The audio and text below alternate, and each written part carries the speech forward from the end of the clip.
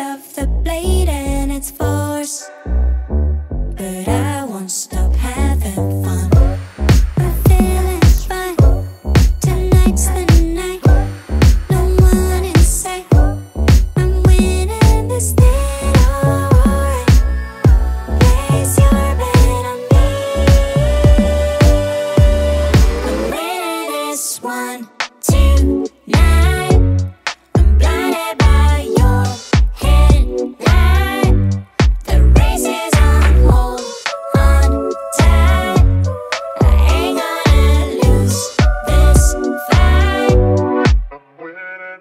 Uh-huh.